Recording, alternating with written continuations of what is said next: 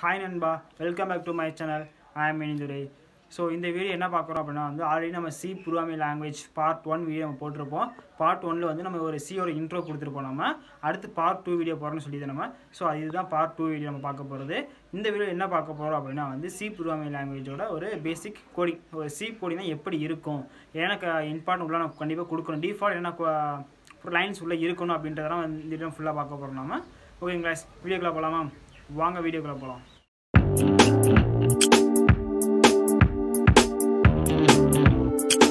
Okay case இப்போ நான் பார்க்க வந்து சி புரோமி லாங்குவேஜுக்கு வந்து முக்கியமான விஷயம் வந்து சில ஃபார்மேட்ஸ் இருக்குது அதாவது சிக்குன்னு சில ஸ்ட்ரக்சர் இருக்குது ஓகேங்களா அது என்னென்ன ஸ்ட்ரக்சர் இருக்குது அப்படின்னு அந்த வீடியோவில் நம்ம பார்க்க போகிறோம் ஓகேங்களா ஸோ சிக்கு தே ஸ்ட்ரக்சர் பார்த்தோம் அப்படின்னா ஹெட்ரு ஃபைல் மெயின் மெத்தட் இருங்களேன் ஸோ ஹெட்ரு ஃபைல்ஸ் தென் வந்து main method variable declaration body return statement ஓகேங்களா ஸோ சிக்கு வந்து இந்த அஞ்சு ஸ்ட்ரக்சர் இருக்குது இந்த அஞ்சு ஸ்ட்ரக்சர் கண்டிப்பாக நீங்கள் சி ப்ரோக்ராம் எழுதும்போது நீங்கள் யூஸ் பண்ணியே தான் ஆகணும். ஓகேங்களா அதுதான் இந்த சியோட ஸ்ட்ரக்சர் ஓகேங்களா இதை பற்றி நம்ம இந்த வீடியோ ஃபுல்லாக பார்க்க போகிறோம் ஒவ்வொன்றும் என்னென்ன பண்ண போகிறோம் அப்படின்றத இந்த வீடியோ பார்க்குறோம். ஓகேங்களா நம்ம ஃபஸ்ட்டு பார்க்கறது வந்து நம்ம ஹெட்ரு ஃபைல்ஸ் பார்ப்போம் நம்ம. ஸோ ஹெட்ரு ஃபைல்ஸ்னால் என்ன? அதாவது கோடிங்க்கு தேவையான எல்லா ஃபைல்ஸுமே ஹெட்ரு ஃபைல்ஸ் தான் இருக்கும். ஓகேங்களா அதாவது ஒரு எக்ஸாம்பிள் சொன்னு வச்சுக்கோங்களேன். ஒரு வேலை நீங்கள் சீலனா பிரிண்ட் அப் ஸ்கேன் அப் அப்படின்ற ரெண்டு மெத்தட் உள்ள யூஸ் பண்ணுற மாதிரி இருக்கும் நமக்கு ஓகேங்களா அது யூஸ் பண்ணும்போது இந்த பிரிண்ட் ஆஃப்ன்றது இன்னும் ஒர்க் பண்ண இந்த பிரிண்ட் அப் கொடுத்தா அதோட வேலை இதுதான் அப்படின்ற செட் ஆஃப் ரூல்ஸ் இல்லை வந்து நம்ம செட் ஆஃப் லைப்ரரிஸ்னு சொல்லுவாங்க ஓகேங்களா அது எல்லாமே ஹெட்ரு ஃபைல்ஸில் தான் இருக்கும் நமக்கு ஓகேங்களா ஸோ அதுதான் நம்ம ஹெட்ரு ஃபைல்னு சொல்லணும் சீல ஹெட்ரு ஃபைல் இல்லாமல் கோடிங் எழுதவே முடியாது ஓகேங்களா ஹெட்ரு ஃபைல்ஸ்னு எடுத்துகிட்டோம் அப்படின்னா கிட்டத்தட்ட ஒரு பத்து ஹெட்ரு ஃபைல்ஸ்க்கு மேலே இருக்குது நம்ம சீல காமனாக யூஸ் பண்ணக்கூடிய ஹெட்ரு ஃபைல்ஸ் எடுத்துகிட்டோம் அப்படின்னா வந்து லைக் நான் போகிற மாதிரி இல்லை. ஹெட்ரு ஃபைல் எப்படி இன்க்ளூட் பண்ணோம் அப்படின்னா இதோட சிண்டெக்ஸ் பார்த்தோம் அப்படின்னா hash include hash include STDIO dot H so இதுதான் இதுதான் வந்து ஒரு சிண்டெக்ஸ் ஹெட்ரு ஃபைலோட சிண்டெக்ஸ் பார்த்தா இதுதான். Hash include STDIO dot H STD means standard input output dot header file அதாவது நம்ம பிரிண்ட் அப் ஸ்கேன் ஆஃப் பார்த்தோம்ல அது மாதிரி அது அது கூடிய லைப்ரரிஸ் எல்லாமே இந்த ஹெட்ரு ஃபைல்ஸ் தான் இருக்கும் ஓகேங்களா ஸோ இது ஒன்று யூஸ் பண்ணுவோம். ரெண்டாவது இன்னும் மெயினாக வந்து மோஸ்ட்லி இதை இன்னொன்று யூஸ் பண்ண மாட்டோம் ஓகேங்களா லைக் ஏன்னா நான் போட்டே காமிச்சேன் உங்களுக்கு. Hash include conio conio dot H so இந்த ஹெட்ரு ஃபைல் யூஸ் பண்ணுவோம் நம்ம. இந்த ஹெட்ரு ஃபைல் என்ன? Console input output dot header file அப்படின்னு சொல்லுவாங்க இதோட ஹெட்ரு ஃபைல் ஃபைல்ஸை இதுதான் அதோட சிண்டெக்ஸ் ஓகேங்களா இன்னும் தெளிவாக சொல்லணும்னு வச்சுக்கோங்களேன். இது எப்படி ஒர்க் ஆகுன்னு சொல்லணும் அப்படின்னா நம்ம வந்து ஒரு கோடிங் எழுதுகிறோம் அதில் வந்து மேக்ஸ் வச்சு நம்ம ஒரு சம் போடுற மாதிரி ஒரு கோடிங் எழுதுறோம்னு வச்சுக்கோங்களேன். அதுக்கு வந்து எம் பவர் என் பவர் மாதிரி பவர் வச்சு சம்திங் எழுதுறோம் அப்படின்னா அதுக்கு என்ன யூஸ் பண்ணுவோம்? அதை நம்ம டேரெக்டாக வந்து நம்ம உள்ளே போட முடியாது ஓகேங்களா அதுக்கு அது சில ஆக்ஷன் நடக்கணும் அப்படின்னா நம்ம அதுக்கு தேவையான ஹெட்ரு நம்ம இன்க்ளூட் பண்ணணும். ஸோ இன்க்ளூட் பண்ணதுக்கப்புறம் தான் அதை ஹெட்ரு ஃபைல்ஸை இங்கே நம்ம ஆக்சஸ் பண்ண முடியும். ஓகேங்களா அதுதான் இந்த ஹெட்ரோ ஃபைல்னு சொல்லணும். ஓகேங்களா இப்போ மேக்ஸ்க்கு எடுத்துட்டோம் அப்படின்னா நீங்கள் பாருங்களேன். ஸோ மேத் டாட் ஹெச் அப்படின்னு ஒரு ஹெட் ஹெட்ரு ஃபைல் இருக்குது ஓகேங்களா ஸோ இதை நம்ம உள்ள இன்க்ளூட் பண்ணிடலாம் ஃபார் எக்ஸாம்பிள் வந்து அது எப்படி இன்க்ளூட் பண்ணுறோம் அப்படின்னா அதோட சிண்டெக்ஸ் வந்து hash include open math dot header file so இப்படி தான் நம்ம எதாவது இன்க்ளூட் பண்ணுற மாதிரி இருக்கும் இதே மாதிரி ஸ்டிங்குக்கு எல்லாத்துக்கும் இந்த மாதிரி தான் ஹெட்ரு ஃபைல்ஸ் எல்லாம் இன்க்ளூட் பண்ண வேண்டியது எல்லாமே சேம் மெத்தட் தான். அந்த ஹெட்ரு ஃபைல்ஸ் ஒரு பத்துக்கு மேலே இருக்குது நான் எக்ஸாம்பிளுக்கு சும்மா ஒரு நாலஞ்சு இது கொடுத்துருக்கேன் ஓகேங்களா ஸோ இது அந்த இப்போ மேக்ஸ் மேத்தமெட்டிக்கல் ஃபங்க்ஷன்ஸ் காமனாக மேத்தமெட்டிக் ஃபங்க்ஷன் எல்லாமே இதை வச்சு நம்ம யூஸ் பண்ண முடியும் அப்படின்றோம் ஓகேங்களா ஸோ ஆக்சுவலி இதுதான் வந்து ஹெட்ரு ஃபெல் அப்படின்றது ஓகேங்களா ஸோ இப்போ நான் அடுத்து எடுப்போம் நம்ம ஸோ இது ஒன்று ஓகேங்களா அடுத்து வந்து மெயின் மெத்தட் டிக்ளரேஷன் அப்படின்றோம் நம்ம ஓகேங்களா ஃபஸ்ட் எடுத்து ஒரு கோடிங் எழுத போகிறோம் அப்படின்னா ஃபஸ்ட்டு ஸ்டெப் என்ன பண்ணணும் அப்படின்னா ஹெட்ரு ஃபைல் எல்லாம் நம்ம இன்க்ளூட் பண்ண வேண்டியது இருக்கும். அது நம்ம இன்க்ளூட் பண்ணிட்டோம். ஹெட்ரு ஃபைல் என்னான்னு நம்ம பார்த்துருக்கோம் நம்ம ஓகேங்களா அடுத்தது எடுத்துட்டோம் அப்படின்னா மெயின் மெத்தட் ஸோ நம்ம ஒரு கோடிங் எழுதும்போது ஃபஸ்ட்டு ஹெட்ரு ஃபைல் டிக்ளேர் பண்ணணும். ரெண்டாவது மெயின் மெத்தட் டிக்ளேர் பண்ணணும் ஓகேங்களா இப்போ நான் மெயின் மெத்தட் என்னன்னு பார்த்தோம் அப்படின்னா மெயின் மெத்தட் மொத்தம் டூ டைப் மட்டும் தான் இருக்குது ஓகேங்களா ஒன்று பார்த்தோம் அப்படின்னா இன்ட்டு மெயின் இன்னொன்று வாய்டு மெயின் நான் டைப் பண்ணி காமிக்கிறேன் ஓகேங்களா ஸோ இன்ட்டு ஏன் அவ்வளோதான் ஸோ இந்த இன்ட்டு மெயின் ப்ராக்கெட் ஓப்பன் பண்ணணும். ஓகேங்களா இவ்வளோ தான் ஸோ இன்ட்டு மெயின் போடலாம். இல்லை இன்கேஸ் அப்படி எடுத்துகிட்டு அப்படின்னா அதுக்கு பதிலாக வாயில் வாயில் மீன் போடலாம். ஓகேங்களா இந்த ரெண்டில் வந்து ஏதாவது ஒரு மெயின்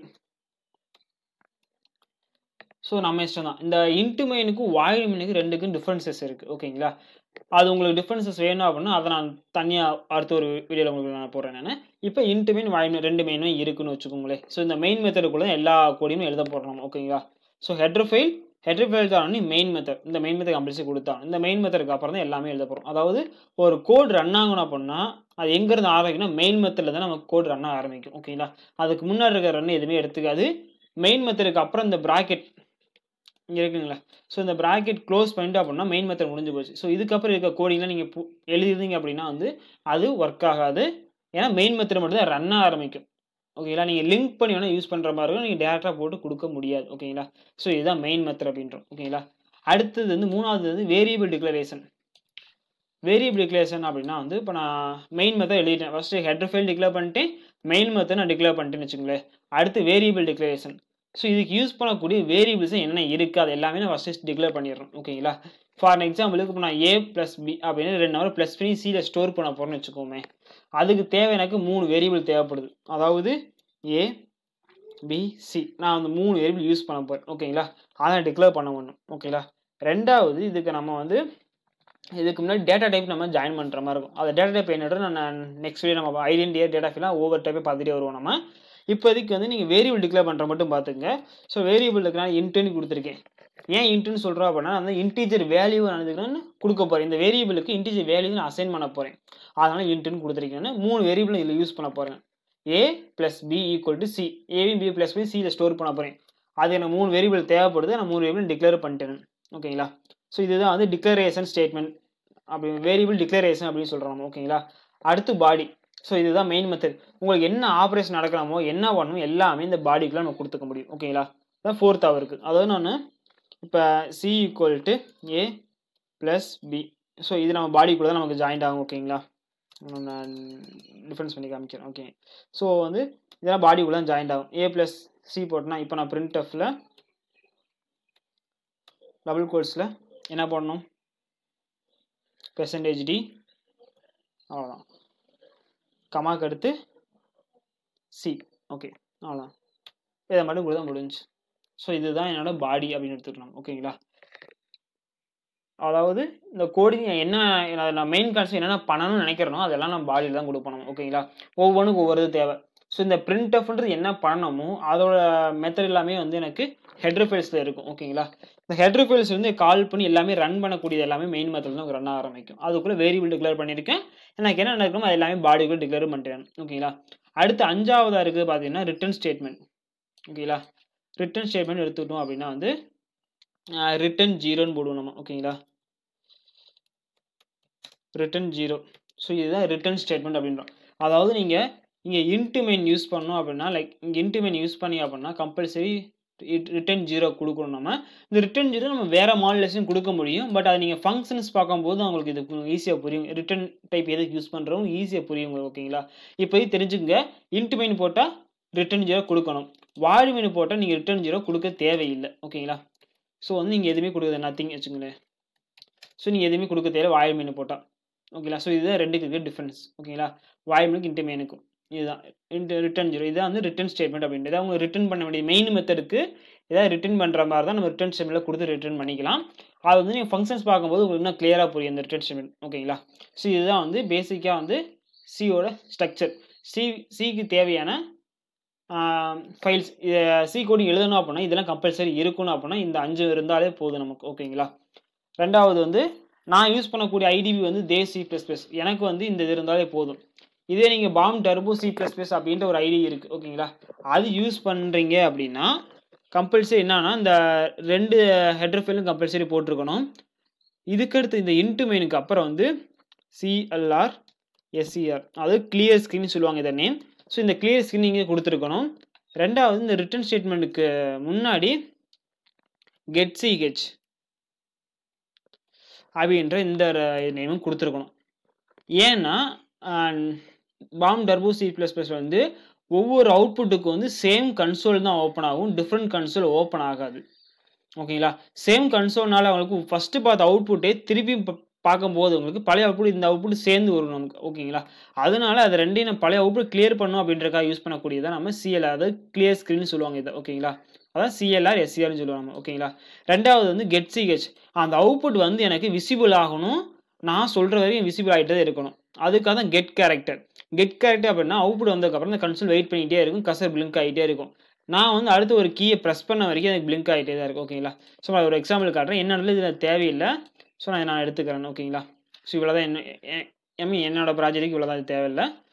ஸோ நான் வந்து டெமோ அப்படின்னா போட்டுக்கிறேன் ஓகேங்களா டெமோன்னு போட்டு டாட் சி நான் சேவ் பண்ணிக்கிறேன் டிஎம்ஓ ஸோ இப்போ நான் ரன் கொடுக்குறேன்னு வச்சுக்கோங்களேன்.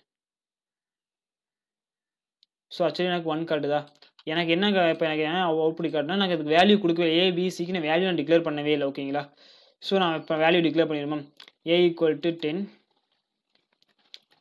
B equal to fifty நான் வேல்யூ இப்போ டிக்ளேர் பண்ணிட்டேன் ஓகேங்களா ஸோ இப்போ நம்ம கம்பல் ரன் கொடுத்தேன் அப்படின்னா ஸோ ப்ளஸ் பி எனக்கு ஆன்சர் காட்டுதா டுவெண்ட்டி ஃபைன் காட்டுதா இங்கே பார்த்தா தெரியும் உங்களுக்கு. கஸ்டர் பிளிங்க் ஆகிட்டே இருக்கா? இப்போ நான் வந்து ஒரு என்ட்ரிக்கு ப்ரெஸ் பண்ணதுக்கப்புறம் தான் எனக்கு இங்கே கோடிங் எனக்கு இந்த இந்த கன்சோலே எனக்கு க்ளோஸ் ஆகிருக்கு ஓகேங்களா ஸோ இதுதான் அந்த கெட் கேட் அப்படின்றக்கான டெஃபினேஷன் ஓகேங்களா